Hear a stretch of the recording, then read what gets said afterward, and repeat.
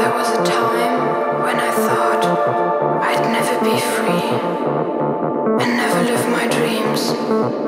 I'd never push boundaries and never be myself.